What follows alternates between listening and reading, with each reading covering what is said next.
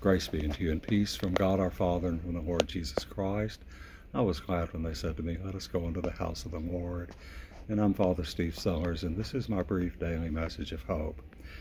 I've just finished uh, Mass and uh, confessions this morning on the, the feast day of St. Athanasius, uh, a bishop of the church, uh, a, uh, a wonderful guide to the church through a turbulent time in the, the fourth century uh, AD when he stood fast for the faith of the church that proclaimed that the Lord Jesus was uh, fully human and fully divine. Uh, while there were many in the church who doubted the divinity of Jesus, Athanasius stood fast for that, and as a reward of his faith, uh, he was driven from Alexandria about five different times by people who were angry at him for holding that. And uh, as I pointed out at the Mass today, and I continue to point out to myself that if Jesus uh, was only a, a, man and that was all, uh, then people can say that he was a wise teacher uh, or that uh, he was uh, an example to us. But if he's also God, as well as being fully human, we need to do what he calls us to do because he is our Lord. And of course, he calls us to love each other the way He loved us with a love that is uh, uh, self denying, a love that puts the needs of others uh, before our own needs, a love that bubbles over with uh, compassion uh, for uh, one another.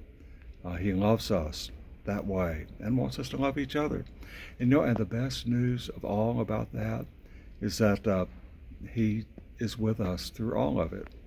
Uh, and as I pointed out in the, the Mass today, uh, He's the one who is uh, with us to enable us to love uh, the way He wants us to love. And, uh, and He's not going to walk away from us, as I uh, tell people all the time. You can't get rid of the Lord Jesus, and He's not going anywhere.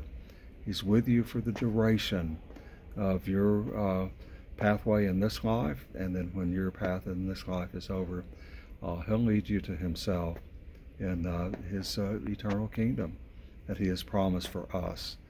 Uh, and remember that Athanasius uh, didn't have an easy path, even though he held fast to uh, the ways of the Lord, and that he was mistreated and brutalized in this life.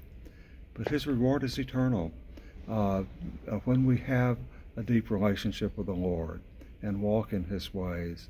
Uh, things don't always go 100% perfect for us, but we do know this He's with us however they go, and He's not going to leave us, and He's not going to leave you. I hope you have a blessed day today as we plunge head for, for, uh, forward into the month of May, uh, the month of Mary, uh, so that we uh, uh, stay close to Him.